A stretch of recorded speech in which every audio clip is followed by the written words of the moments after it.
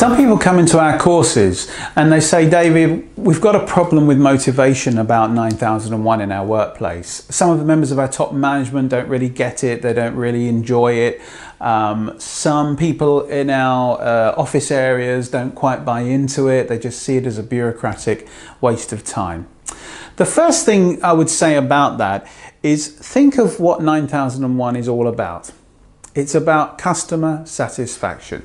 If your customers are asking you to get 9001, well, your first thought should be, we want to please our customers, so let's not just do this, let's do it properly and give it some energy.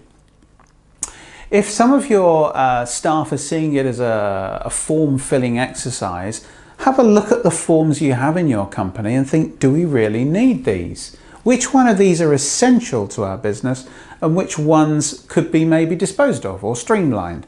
Because 9001 is very flexible in, in what it requires in terms of documented information.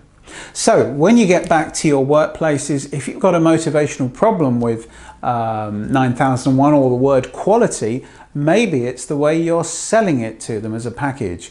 Uh, maybe the, the documents are dull. You know, maybe using a lot of Word documents, maybe you could use more PowerPoint. Maybe you could use photographs or films uh, or a social media kind of environment. So make it engaging for your staff and let me just leave you with this one message.